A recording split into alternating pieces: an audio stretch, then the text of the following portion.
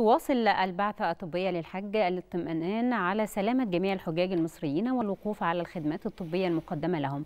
ومعنا عبر زوم موفد التلفزيون المصري محمد حلمي.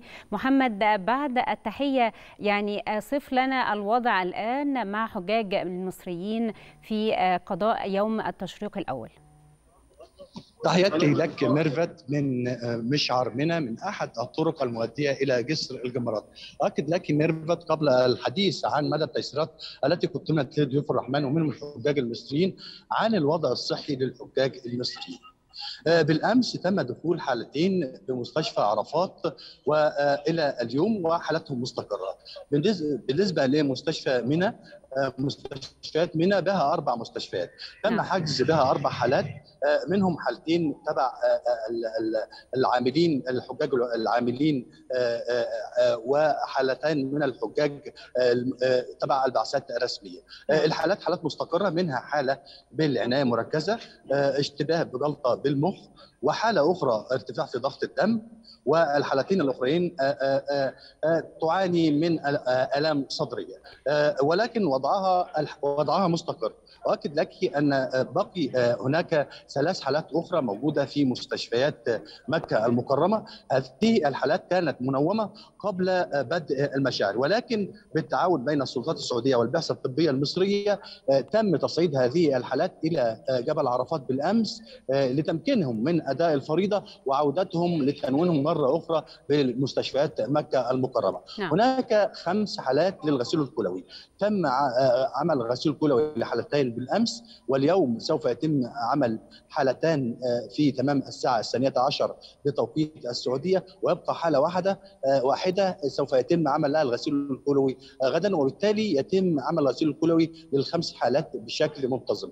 غير ذلك الحمد لله حجاج مصر بخير بالأمس كانت دخول بعض الحالات كانت تعاني من ضربات في الشمس ولكن هناك جاهزية تامة بمستشفيات المملكة العربية السعودية للتعامل مع هذه الحالات من خلال المستشفيات المتخصصة. هناك أكثر من 241 سريرا تقدم الخدمة العلاجية لضربات الشمس بالإضافة إلى 1500 سرير للعنايه المركزه و3000 للحالات الأخرى منها الغسيل الكلوي.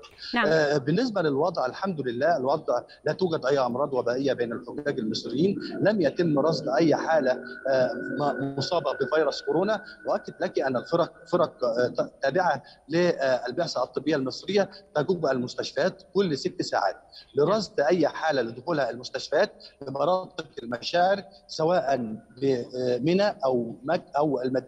أو مشعر عرفات أو المزدلفة.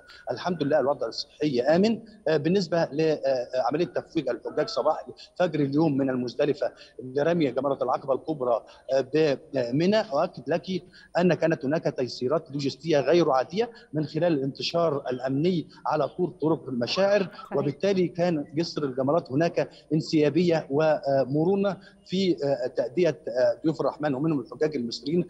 الجمرات بشكل آمن. ومنهم من وصل حتى وصل إلى مكة المكرمة لعمل طواف الإفاضة والرجوع مرة أخرى إلى منى لقضاء باقي أيام التشريق. بشكرك شكرا. لك بشكرك شكرا جزيلا موفد التلفزيون المصري من الأراضي المقدسة محمد حلمي. لبيك اللهم لبيك لبيك لا شريك لك لبيك إن الحمد والنعمة لك الملك لا شريك لك. لبيك اللهم لبيك لبيك لا شريك لك لبيك. إن الحمد والنعمة لك الملك لا شريك لك. لبيك اللهم لبيك لبيك لا شريك لك لبيك. إن الحمد والنعمة لك الملك لا شريك لك.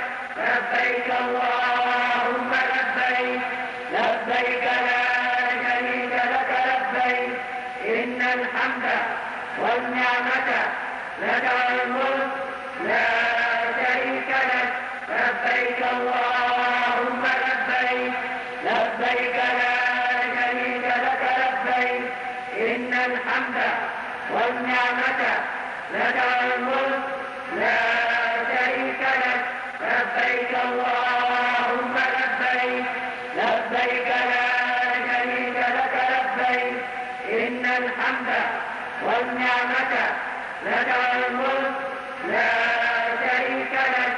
لبيك اللهم لبيك لبيك لا شريك لك لبيك. إن الحمد والنعمة لك والملك